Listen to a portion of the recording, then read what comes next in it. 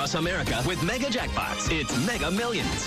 What's up, America? I'm John Crow. It is Friday, July 22nd, and tonight's Mega Millions jackpot is an estimated annuitized $660 million. To win that jackpot, you must match these five white balls plus that gold mega ball. Now, let's see if I can make you a millionaire tonight. Our first winning number tonight is 60. That's followed by 66. Up next, we have 14. Your next number is 40. And your final white ball number for this Friday evening is 64. Now for the mega ball number, that is 16. Again, tonight's winning numbers are 60, 66, 14, 40, 64, and the gold mega ball is 16. I've no mentioned all six numbers. Tuesday's jackpot could be $790 million. Play on, America.